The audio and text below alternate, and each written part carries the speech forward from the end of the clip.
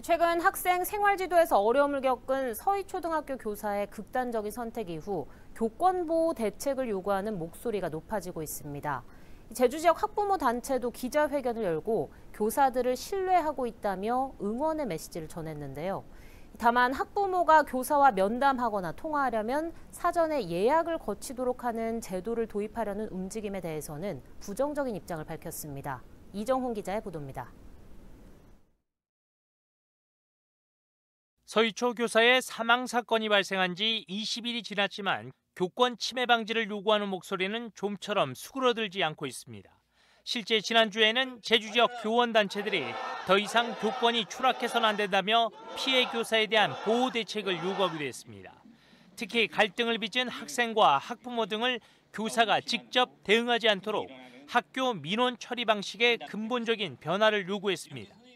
모든 민원은 온라인 접수 시스템과 전화를 통해 접수되며 교장이 해당 사안을 검토하여 답변하거나 사안에 따라 필요한 경우 면담을 실시하는 방식으로 운영되어야 합니다.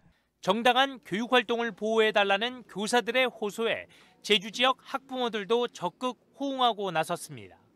지난해 결성된 학부모 단체인 제주도 학부모 총연합회는 기자회견을 열고 학교 현장에서 헌신하고 있는 선생님들을 신뢰한다고 강조했습니다. 그러면서 교사들의 고충을 듣는 자리를 만들어가겠다고 덧붙였습니다. 하지만 민원인으로부터 교사를 보호하기 위한 방안으로 일각에서 제기되고 있는 학교 민원 창구 일원화 요구에 대해선 이견을 보였습니다. 일부 교육청이 학부모가 교사와 면담하거나 통화하려면 사전에 예약을 거치도록 추진하는 것에 대해선 부정적인 입장을 밝혔습니다.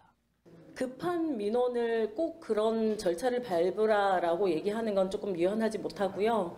하지만 선생님들의 수업권 이런 보장을 위해서 네, 최대한 돕는 방법으로 가긴 하겠지만 네, 학부모들의 그리고 학생들의 급한 민원만큼은 학교에서 바로 처리가 될 수 있었으면 합니다. 교육활동 보호 방안에서 일부 의견차를 나타냈지만 교권 침해 방지와 보호를 위해 학부모 단체들도 호응하고 나서면서 정치권에서 논의 중인 교원 보호 대책도 힘을 받게 됐습니다.